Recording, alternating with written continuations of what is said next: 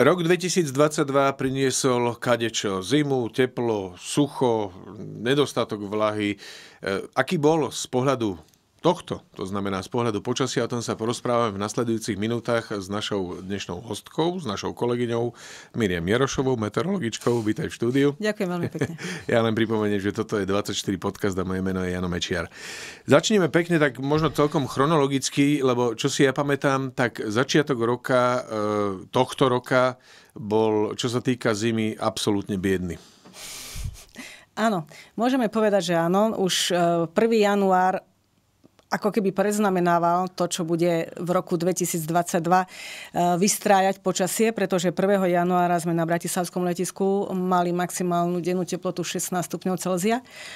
Pekne. A nebol to rekord náhodou? Nie, nie, nie. Ešte nie. bolo niekedy aj teplejšie, áno. A treba si uvedomiť jednu vec, že tá teplejšia atmosféra, síce sa tak všeobecne hovorí, že prináša väčšie zrážkové úhrny, ale pri takejto, pri kvalite toho vzduchu, ktorý e, sme tu mali, tak e, táto zima, síce niekde tá, čo skončila, lebo pre nás meteorologov vlastne 1. decembra už nová zimná sezóna mm-hmm. začala, takže už tá minulá zima priniesla síce sneh, ale v nížinách Slovenska sa iba veľmi sporadicky vytvárala súvislá snehová pokrývka a pretože môžeme povedať, že bolo aj pomerne veterno, tak e, sa veľmi rýchlo sneh topil, veľmi rýchlo sa eh, vyparoval a tým sa ešte zvýrazňoval, zvýrazňovalo sucho, zvýrazňoval sa deficit. Zrážok. Ja mám pocit, že toho snehu bolo vo všeobecnosti málo, nielen v tých nížinách, ale aj tam, kde uh, ten sneh by mal byť. Um, tak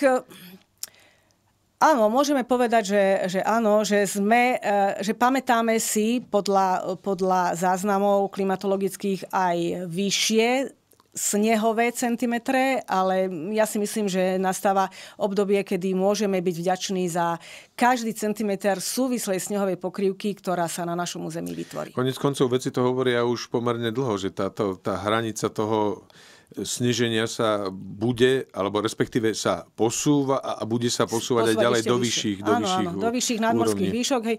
Podľa klimatologických modelov na území Slovenska by to malo byť od 900 metrov vyššie, kedy by sa vytvárala súvislá snehová pokrývka do tejto hranice. To neznamená, že sneh nebude padať, bude padať, ale môže to byť buď mokrý sneh alebo dáž so snehom, pri ktorom sa teda snehová pokrývka bude vytvárať veľmi ťažko.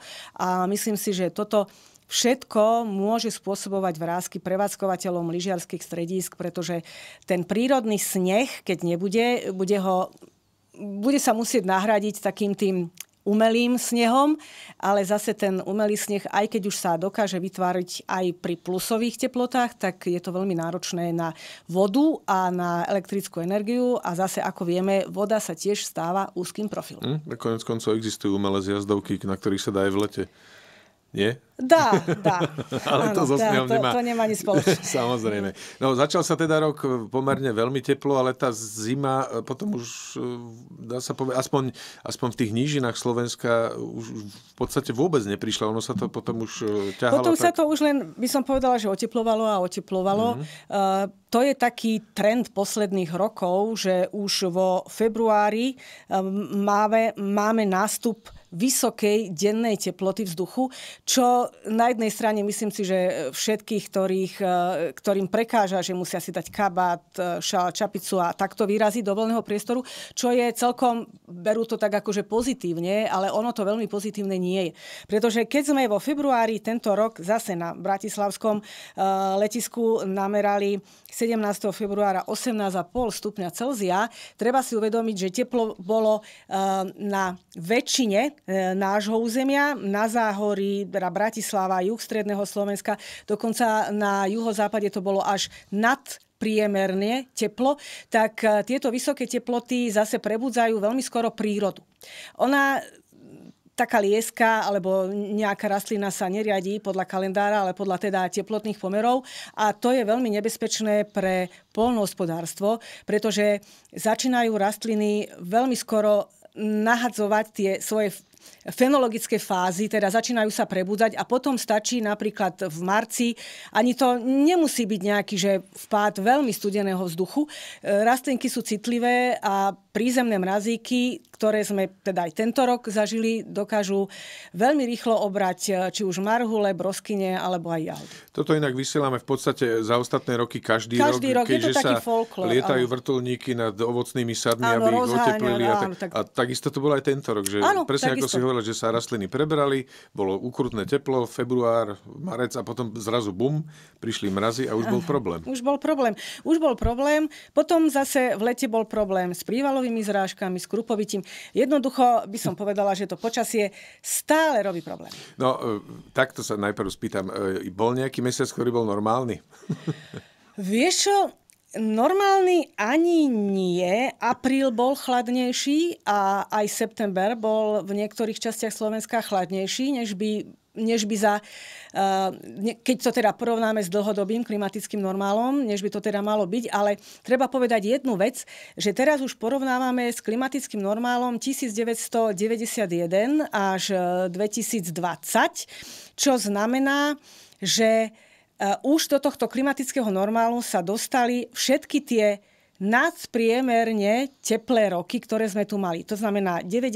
roky, aj roky, ktoré boli 2000, e, čo, čo keď to preložím do matematiky, tak sa ten priemer zdvihol. Hej? A aj tak to bolo nadpriemerné. Aj tak to bolo mhm, nadpriemerné. Mm-hmm. Keď by sme to porovnávali so starým klimatickým normálom, ktorý Svetová meteorologická organizácia stále odporúča porovnávať, to je 61,90, e, tak tam by sme boli ešte vyššie, ako sme boli teraz. Pretože ten starý klimatický ekonomický normál, ten si berie e, dáta alebo berie údaje z toho časového obdobia, kedy sme ešte nechcem povedať, že nechyrovali o klimatickej zmene, ale kedy sa tak výrazne neprejavovala. Mm.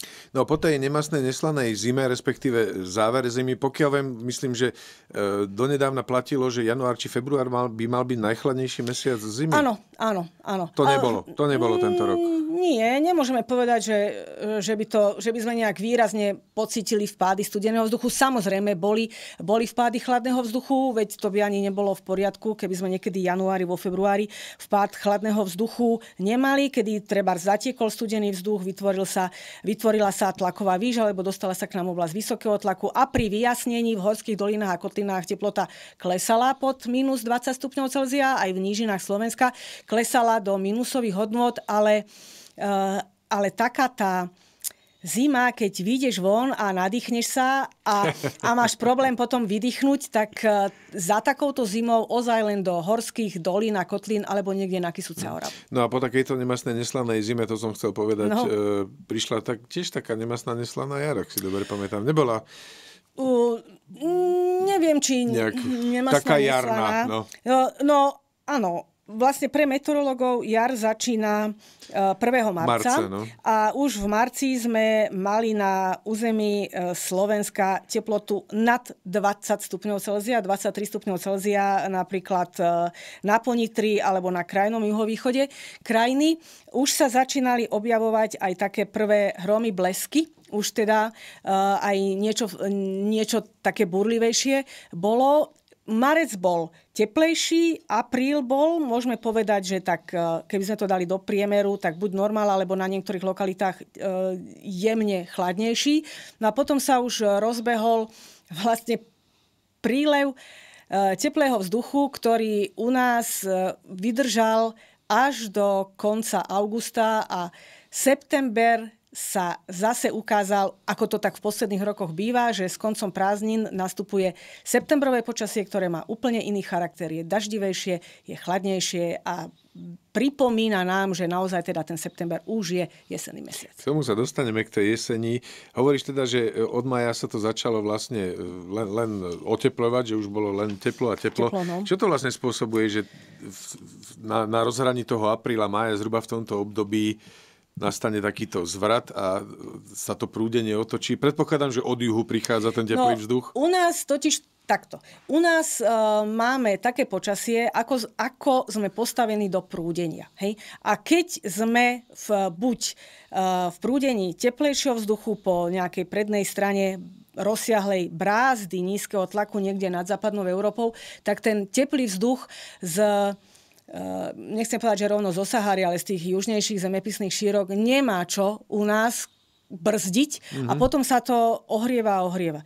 Napríklad už 12. mája sme mali tropický deň. Hej? 12. mája? Áno, 12. To je nad 25? Či tropický deň je nad 30. Nad 30. Takže to už sme mali mm. tropický deň. Samozrejme, v máji už aj s výraznejšími zrážkovými úhrnmi, dokonca aj prívalové zrážky na Karpatoch, sme mali uh, 100 mm zrážok pri búrke, čo už teda nastupuje aj tieto nepríjemné javy, nepríjemné aj teplotne, ale aj zrážkovo, lebo 30 stupňov Celzia nie je normál na, mm-hmm. na maj. Už takéto nepríjemné javy nastupujú výrazne skôr a klimatológovia hovoria, že aj to je znak klimatickej zmeny. E, keď hovoríš o tých prívalových dažďoch, narobilo to niekde problémy počas tej jary? E, tieto prívalové zrážky práve, práve na tom záhorí a v Karpatoch e, vytopené, vytopené ulice, báhno a podobne nemôžeme e, predpovedať presnú lokalitu. Nedá sa predpovedať presná lokalita, kde sa takéto prívalové zrážky vyskytnú. Do predpovede sa uvádza, že možnosť prívalových zrážok alebo vysokých zrážkových úhrnov e, atmosféra má stále ešte svoje, by som to tak vzletne povedala, tajomstvá, ktoré sú pre nás meteorologov zatiaľ neobjavené a obávam sa, že ešte dlho neobjavené. A vy to viete zaregistrovať radarmi, nie? Radarmi, Ale tam je koľko minút na, na to, že keď už môžeš povedať, že aha, teraz sa to tam No, keď, spustí. uh, keď hovoríme o nejakých tých výraznejších zrážkach, tak to je... Uh, vieme, že sa niečo blíži, čo je výrazné a môže to byť, je to tak maximálne hodina. Aha. A vie sa, čo všetko to spôsobuje, že práve v danom mieste e, sa vytvoria tie prívalové zrážky? Že aká, no, aká situácia tam musí nastať, aby naozaj bum, tá voda spadla musí, z neba? Uh, musí tam byť vysoká, uh, vysoká teplota, pretože teplá atmosféra dokáže pojať oveľa viacej vlhkosti a potom samozrejme niekde musíš tú vlhkosť nabrať. Toto bolo e, konkrétne nad e, Karpatmi a ešte v tomto prípade zohralo svoje aj to, že to bol tzv. náveterný efekt, že jednoducho sa tam ten oblak ako keby oprel a kým malo čo, tak z toho oblaku vypadávalo pršalo. Tak mi napadá, dá sa voči tomu nejako brániť vôbec? Nie, nie. Hm? Bohužiaľ, bohužiaľ nie. Uh, môžeš len zabrániť tomu, aby sa ti tá voda nejakým spôsobom, ak si teda dole brehom, aby sa ti nejakým spôsobom nedostala do záhrady alebo nedostala do domu. A to je, to je asi všetko. Hm. Čiže len čakať, čakať, a čakať dúfať, a že to ešte, prejde. Áno, a ešte jedna vec. Ja viem, že teraz tej vody celkovo aj v prírode trošku menej a sú všelijaké uh, jarčeky a malé potvočky, v ktorých už dlhé roky voda nebola. Ale to by si zase povedali kolegovia hydrologovia, že voda si pamätá a keď je tento jarček niečím obstavaný alebo niečo tam máš, tak tá voda jednoducho ide a potom ešte ani nemusí toľko spadnúť, ako je niečo stojí v ceste a potom sa vlastne tá škoda znásobuje nie ani to vodou, ako tým, že my sme mm-hmm. si tam niečo uložili. Trošku si mi nahrala tými zrážkami zrážkami, že málo. E, ja mám pocit, že práve na jar sa začalo hovoriť o tom, napriek týmto prívalovým ano, zrážkam a podobným veciam, sa začalo hovoriť, že vody je veľmi málo. Už, už v zime sa to začalo a postupne sa to prehlbovalo. Prehlbovalo a prehlbovalo. Uh, situácia so schýbajúcimi zrážkami a s nasupujúcim suchom sa ťahala uh, vlastne už od jesene 2021. Nie, na niektorých lokalitách už na jesen 2021 bol signál, že je zrážok málo. No zima tomu veľmi nepomohla, ako som hovorila. Väčšinou ten sneh tvorí v nížinách Slovenska takú zásobáreň vlahy a pomalé topenie snehu a prenikanie do tých uh, hĺbších vrstiev pôdy robí zásobu aj v tých, v tých hĺbších častiach. Tak toto nebolo. A postupne E, vlastne tie chýbajúce zrážky len zvýrazňovali sucho, ktoré na území Slovenska bolo. Ale treba povedať, že e, nie len Slovensko bolo e, na sucho a chýbali zrážky, ale zrážky chýbali na väčšine Európy a so suchom sa borilo Taliansko, Španielsko, Francúzsko, Česká republika, so suchom sa borili Maďari, Rakúšania aj Nemci. Dokonca musela byť pozastavená aj lodná doprava, pretože taká rieka ako Rín v Nemecku sa stenšila len na taký, nechcem povedať, že potočík, ale na také dosť citeľne teda len v strede toku tiekla a toto všetko sa potom prejavovalo aj v spoločnosti. Sucho, ešte by som chcela do, doplniť, že e, sucho nejakú presnú definíciu nemá. Ale môžeme všeobecne povedať, že o suchu hovoríme vtedy, keď chýba voda v mhm. spoločnosti a v prírode. No a, a sú také štyri stupne. Je meteorologické sucho, polnospodárske sucho, hydrologické sucho a socioekonomické sucho, kedy už nedostatok vody ohrozuje alebo robí problémy e, celospoločenské alebo v niektorých častiach fungovania spoločnosti a na Slovensku už sme niektoré lokality na východe Slovenska mohli e, podľa tohto klasifikovať, že už tam tá voda spôsobovala problémy tomu bežnému životu obyvateľstva. Mm vyschli potoky, musela sa uh, voziť aj pitná voda. Už to bolo až to socioekonomické sucho. Presne, aj to sme tiež vysielali v spravodajstve v studne, ktoré boli e, štandardne zdrojom vody pre mnohých obyvateľov, zrazu boli prázdne. E, v Česku, čo si spomínala, tam zakázali polievanie, polievanie trávnikov, áno, bazény. Áno, bazény. Vo Francúzsku nemali čím chladiť Chladiť, jadrové elektrárne. Áno, presne, tam a tak boli ďalej. veľké problémy. Uh, to sucho sa potom ťahalo celé leto. V septembri sa to, mám taký pocit, či? Zlý uh, áno, pocit? dobrý pocit. September priš, priniesol úplne iný charakter počasia, ako sme vlastne v, v letnom, v letných mesiacoch mali, teda leto, júl, jún, júl, august, kedy sme mali tropické dni, tropické noci, dokonca tropické dni boli aj v polohách nad 900 metrov, čo sa bežne nevyskytuje. Ale naozaj s príchodom septembra prišiel iný charakter počasia, zrážky, ktoré boli aj veľkoplošné, zmiernili, zmiernili toto sucho, ale zároveň myslím si, že práve kvôli tým zrážkam a kvôli oblačnosti a prúdeniu trošku chladnejšieho vzduchu bol september podpriemerný. Čo, zrážkovo? Nie zrážkovo, teplotne. Teplotne. Mm-hmm. teplotne. To znamená, že e, bol chladnejší. Bol ako chladnejší, ako, ako je štandardný normál, štandardný z nášho pohľadu 91 mm. až 2000. Vráťme sa k tomu letu. Každé, ja viem, že každé leto ochkáme, že strašné horúčavy a takéto no. tu už dávno nebolo, ale opakuje sa to každý rok. Bolo to leto niečím výnimočné z tohto pohľadu, z, tými, z pohľadu tých horúčav, alebo vln horúčav, čo je možno Vieš ešte lepší čo, prípad. Dosiahli sme na území Slovenska na stanici Dolné Plachtince, teda Slovenský hydrometeorologický ústav na svojej sieti zaznamenal na tejto stanici teplotu 40 stupňov Celzia pri jednej vlne horúčav. Uh, bolo leto teplejšie ako normál 91-2020, dokonca na niektorých lokalitách silno nadnormálne. A môžeme povedať, že jún bol keď to tak zoberieme z globálu, taký tretí najteplejší mesiac od roku 1931. Hej? Mm-hmm.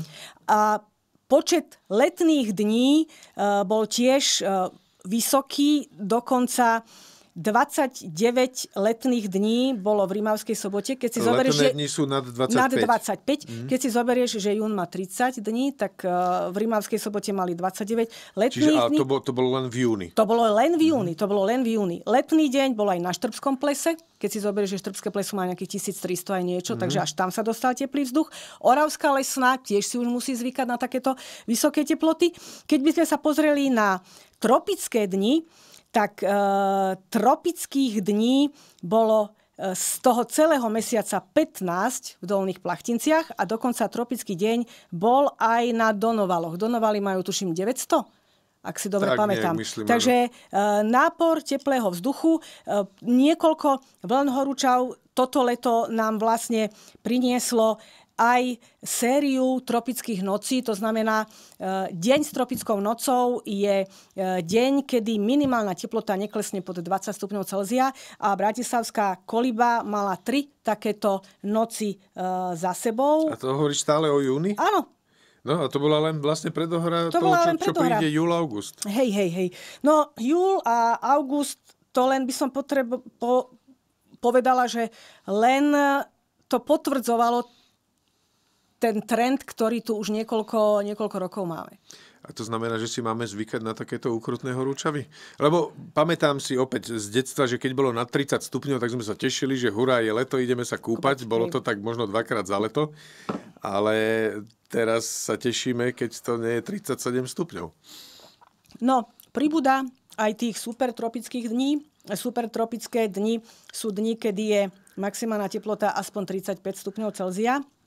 V tom uh, v tom júni boli takéto supertropické dni e, na východe Slovenska a na juhu stredného Slovenska. V júli tak isto a v auguste e, rovnako dokonca stanica Dudince mala týchto 35 stupňov Celzia 4 dní za sebou. Fú, v jednom kuse. V jednom kuse. Inak počas leta bolo sužované týmito vysokými teplotami a s tým, s tým súvisiacimi úkazmi, ako je teda to sucho, najmä východné Slovensko. Viem, že tam mali velikánske problémy. No, tam boli veľké problémy aj so, aj so suchom, aj s teplom. My na západe Slovenska, alebo na Podunajskej nížine a Dudince, Lučenec, to sú také štandardné lokality. Mm-hmm. Uh, ale uh, v júli, v mesiaci júl, bol silno nadpriemerný mesiac aj v Nitrianskom kraji, takže uh, si ten teplý vzduch e, pomaličky hľadá cestu aj do iných končín Slovenska. Mm-hmm. No, leto prešlo v takomto suchom a ja mám pocit teda v extrémne horúcom duchu. Hovorila si, v septembri nastala zmena a tam sa to už viac, ne, viac menej vrátilo mm. do, no, myslím, normálu v tom, že prišla jeseň, tak bolo jesenné počasie. O, tak. ani, ani nie. Milím sa? Ani nie, ani nie. Október bol tiež uh, silno nadnormálny. Uh, november, tam sme čakali na prvé mrazíky E, nočné v, v nížinách Slovenska a tiež sme teda museli dlho, e, dlho čakať, ale aj november sa nejako nevymykal. Uvidíme, ako to bude, ako to bude s decembrom, ale e, celý tento rok, keď sa to zobere globálne, tak bude nadpriemerne, len ide, ide o to, v ktorých lokalitách to bude, že m- možno, možno normál a ktorých to bude nejaký silno nadpriemer. Mm. Viem, že keď sme sa rozprávali aj počas e, jesene, keď ste robili predpovede a tak ďalej, e, tam si presne hovorila toto, že tie prízemné mrazíky by tu už mali byť, nie že prízemné, tie prvé mrazy by tu už mali byť, byť aj na juhozápade Slovenska a stále neprichádzali, že to nastúpilo naozaj že veľmi, veľmi, veľmi neskoro. Veľmi neskoro, no nastúpilo to podľa toho, aká bola poveternostná situácia. Pretože keď stále bolo prúdenie teplého vzduchu vo vyšších vrstvách atmosféry, tak e, to skôr urobilo taký ten inverzný charakter počasia v nížinách a pri inverznom charaktere počasia je veľmi malý rozdiel medzi nočnou a dennou teplotou. Je to ozaj pár stupňov možno do, do nejakých 3-4 stupňov e, Celzia a e, tá teplota jednoducho z fyzikálnej podstate nemá dôvod, prečo, mm-hmm. prečo klesnúť k nule, alebo nedaj Bože pod nulu. Mhm. No z toho, čo hovoríš, ja viem, že tento rozhovor nahrávame v polovici decembra, čiže meteorologická zima trvá ešte len dva týždne nejaké, ano, ano. ale tiež sa nejako extrémne neprejavuje. Dokonca ani vo vyšších nadmorských výškach. No, podľa, podľa toho, čo máme za sebou, takú tú prvú kalamitu na východe Slovenska, tak už, už vieme, už vieme, že nám e, pár centimetrov snehu dokáže urobiť e, problém, mhm. čo zase na druhej strane, keď e, si zoberieme, že pri snežení a vetre sa nám vždy budú vytvárať snehové jazyky a snehové záveje, tak nám nezostáva nič iné, len rešpektovať mm-hmm. to, to, čo tu, to, čo tu máme. Ťažko povedať, aká bude zima, či sa takéto kalamity, ako boli na východe Slovenska, budú opakovať e, alebo nebudú opakovať, ale osobne, osobne si myslím, že e, keď máme za sebou niekoľko zím, ktoré boli teplejšie, bola by som veľmi rada, keby sme si postavili snehuliaka aj na juhozápade Slovenska a aby sa vysielali správy o tom, že trebárs boli problémy v doprave aj okolo Nitry, alebo okolo Bratislavy, alebo na Záhorí. Rozumieš? Aby bola taká štandardná zima, akú si ju treba spáť. Áno, lenže aj tá kalamita v podstate nie je štandard, to je taká nárazová vec, že to príde, tak, zosi- to sú ako tie prívalové zrážky. Áno, že, že príde, zosype, zosype a koniec. A koniec. No. Eh, ako to vyzeralo vo svete? Myslím teraz, doteraz sme sa točili na Slovensku, ešte by sme sa mohli pozrieť trošičku aj eh, na svet. Čo to po, počasie v roku 2022 prinieslo vo svete také zaujímavé? No už sme hovorili o tom, že teda sucho bolo nielen u nás, ale aj vo svete, že teda sucho znižovalo veľmi, alebo dostávalo veľmi nízko vodné stavy na jednotlivých riekach, takže tom, tam bol problém.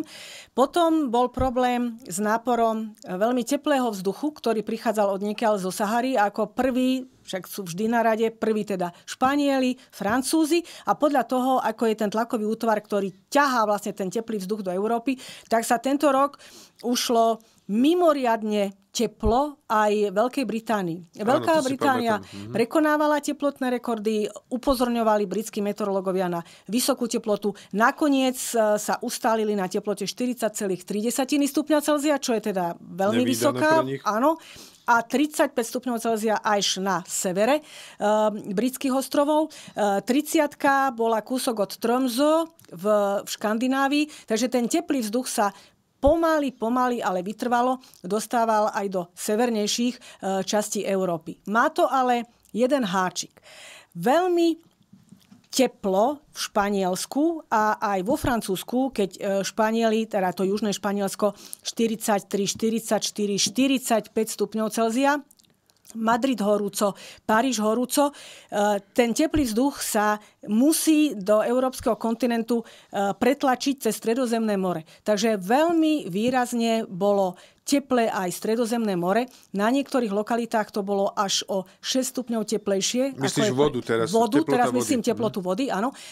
Čo môže spôsobiť problém e, v zime, pretože vyššia teplota vody, nevieme, nevieme, ako to bude interagovať spolu so vzduchom a či to neprinesie nejaké netypické prejavy zimného počasia do Európy a do Strednej Európy tiež. Lebo, aby sme to možno vysvetlili, to Stredozemné more je taký akumulátor tepla áno, a keď áno, príde áno. zima, to teplo stojí vody No ide samozrejme, von. ide, ide do atmosféry, mm-hmm. vyparuje sa, teplejšia atmosféra, viacej vlhkosti. No uvidíme, uvidíme, čo to teplejšie Stredozemné more prinesie. Mm-hmm. Ešte, e, keď e, si zoberieme, že e, vlastne v novembri eh, boli v Španielsku eh, teploty, že blízko 30 stupňom Celzia a na začiatku decembra tam ešte mali letný deň. Áno, boli lokality, kde to bolo eh, na hodnote letného dňa, to znamená 25 stupňov Celzia, mm-hmm. tak pravdepodobne nie je niečo v poriadku s tými procesmi, ktoré v atmosfére prebiehajú a sú zjavne trošku iná, in, inde posunuté, než by mali byť. A najmä, možno, keby to bol krátkodobý výkyv, dobre, ale podľa ano. všetkého to je pokračujúci trend, trend keď sa presne. to porovná aj s tými predchádzajúcimi, presne, presne. predchádzajúcimi rokmi. No, Svetová zdravotnícká organizácia e, v spolupráci so Svetovou meteorologickou organizáciou povedala, alebo teda vydala vyhlásenie, že si vlny horúčav tento rok v Európe vyžiadali 15 tisíc uh, obetí s tým, že E, ak sa nebudú príjmať adekvátne opatrenia, tak týchto obetí môže byť v nasledujúcich rokoch oveľa viac. Hovoria o skutočne hroznom čísle, s tým, že by si e, mali predstavitelia štátov naozaj uvedomiť, že tie letné mesiace s vlnami horúčav v tých um, zabetonovaných mestách robia takú také životné podmienky pre človeka, ktoré e, starí ľudia, e, chorí ľudia, ale aj malé deti môžu mať problém sa vlastne na takéto podmienky adaptovať a môže tam byť veľké, mm-hmm. veľké zdravotné riziko. Veľmi e, často uvádzaným takým ukazovateľom stavu svetového podnebia je hurikánová sezóna. No. Na to sa vždy často odvolávajú meteorológovia. Aká bola tento rok? No ku podivu bola iná, než e, predpovedali e, meteorológovia, čo sa teda zaoberajú hurikánovou sezónou. Predpokladali na základe toho, že teplejšia atmosféra teplejšia voda, že tých hurikánov bude viac. Ale nakoniec toho bolo 14 pomenovaných cyklón, to znamená 14 e, tropických níží sa vyvinulo do takého, e, až do takej veľkosti, že si zaslúžili, aby dostali svoje meno. Z týchto 14 pomenovaných bolo 8 hurikánov, ale môžeme povedať, že dva také hurikány sa trošku predsa len z toho štandardu vymykali. Jeden bol hurikán Jen, ktorý e, si vyžiadal v Spojených štátoch amerických evakuáciu 2,5 milióna ľudí. 100 ľudí zahynulo a podľa všetkého e, prinesie, alebo prinesie, priniesol, alebo zanechal za sebou enormné e, hospodárske škody. Mm. A druhým hurikánom bola Fiona, ktorá sa popri pobreží Spojených štátov amerických preštrikovala až ku um, Kanade, kde tiež teda za normálnych okolností sa niečo také ako hurikán, tu už môžeme hovoriť o zbytku hurikánu, mm. niečo takéto sa neobjavuje. Silný vietor, veľké nárazové vlny a problémy na pobreží, tak ako to udieralo do pobrežia, tak úplne inak to tam teraz vyzerá a bohužiaľ si so sebou Fiona zobrala aj jeden ľudský život. A ešte dva hurikány by som spomenula, ktoré sa nevedeli rozhodnúť, že čím je lepšie v Atlantickom oceáne alebo v Tichom oceáne. Uh, Julia a Bonnie sa cez tú najtenšiu časť uh, tej Strednej Ameriky, najskôr z toho Atlantického oceánu pomaličky dostali do Tichého, tam sa rozhliadli a uh, Julia sa vrátila, Bonnie tá začínala ako ako teda pomenovaná e, tropická cyklóna a dokonca v tom Tichom oceáne zmohutnila na silnejšie. Ale to Tam... také nezvyčajné trošku, nie? Lebo zvyčajne to je tak, že ten hurikán alebo tá cyklóna, keď príde nad pevninu, tak stratí rýchlo na sile a jednoducho, Hej. poviem to tak, že zdochne. Áno, Ale tá, áno. tieto prešli... Tieto prešli, hm? tá, e, tej, tej Bony sa páčilo viac v tom Tichom oceáne, tam teda zmohutnila a tam si potom žila svoj život. Naozaj, naozaj no. nezvyčajné. Tiež teda e, to možno pripísať tým výkyvom vplyvom v tej svetovej atmosfére? No práve, práve, na tú, e, práve na toto všetko, že tá teplejšia atmosféra, teplejšia voda, na toto všetko sa odvolávali tí, ktorí robili prognózu na hurikánovú sezónu ale ako si to nevyšlo. Aha. Som veľmi zvedavá, e, že či bude z toho nejaká analýza, pretože takým jednoduchým pohľadom sa zdá, že nie je všetko iba o teplejšej atmosfére a o teplejšej vode, že asi tam vstupuje aj niečo iné, čo e, nám hovorí o tom, či tá hurikánová sezóna e, bude nejaká burlivejšia alebo bude pokojnejšia. Čiže táto bola pokojnejšia. Táto bola, toto bola tá pokojnejšia. No, tak možno to je ten známy efekt tých motýlých krídel, čo ja, sa hovorí. Niekde, áno, niekde v Austrálii niekde nezamával motýly krídelkami. A už to bolo niekde inde. Hej, hej.